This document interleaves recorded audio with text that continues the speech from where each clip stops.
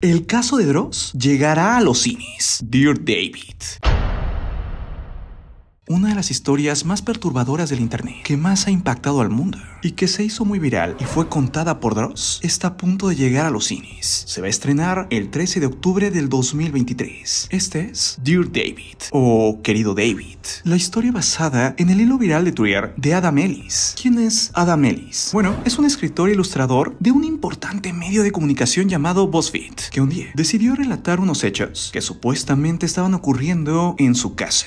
Y es que él afirmó que el fantasma de un niño no lo dejaba dormir. Todo comenzó con este mensaje. Mi apartamento está encantado por culpa del fantasma de un niño muerto y está tratando de matarme. El mensaje lo publicó a las 10.35 de la mañana, el 7 de agosto del 2017. De inmediato, rompió el internet. Tras esto, él fue relatando todo lo que ocurría. ¿Quién iba a decir que toda su experiencia paranormal, el cual él asegura que es real, que sí ocurrió, iba a llegar a los oídos del famoso productor de la película de It para llevarla también al cine? Ellis ha dicho, nunca he estado interesado en convencer a nadie de que los fantasmas son reales, solo quería contar mi historia. Si todo hubiera sido ficción, seguramente habría ido subiendo tweets mucho más rápido.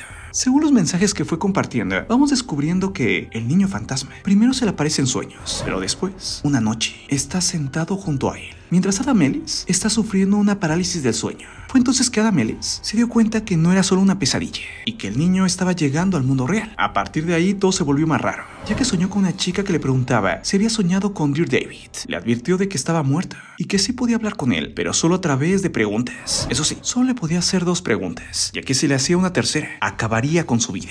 Adam Ellis fue valiente y le preguntó dónde había muerto, a lo que Dear David contestó que en una tienda. ¿Cómo? Le preguntó Adam Ellis, a lo que Dear David le respondió que cuando le cayó una estantería encima, por eso tenía la cabeza abollada. Pero Adam Ellis le hizo una tercera pregunta, que quién lo había lastimado. Dear David no contestó. Tras esta, hubo una semana sin incidentes. Adam Ellis se cambió un apartamento arriba, mucho más grande. Pero entonces, sus gatos comenzaron a portarse sospechosos. Miraban fijamente a la puerta. Cosas más extrañas comienzan a ocurrir. Sonidos de pasos, misteriosas figuras. Hace fotos Polaroid al pasillo y siempre salen en negro. Si ya se mueven solas, objetos se caen, Dear David se le aparece, le agarra el brazo y al día siguiente despierta con moretones en él. Llamadas a mitad de la noche, es así que Adam Ellis se lo cuenta a un amigo y este le hace una limpieza de su casa de espíritus. Todo parece haberse tranquilizado. Pero no, esto molesta más a Dear David y es entonces que logra tomar fotos. Pero llega una de las más perturbadoras, donde se ve una cabeza. Bueno, la historia continúa y toda ella nos la trajo Dross, contada con su estilo muy particular. Obviamente, que aterrorice y no hiela los huesos. Dross fue la persona que hizo tan viral la historia en español, y gracias a la popularidad que le dio Adam Ellis en inglés y Dross en español, es que ahora va a llegar al cine.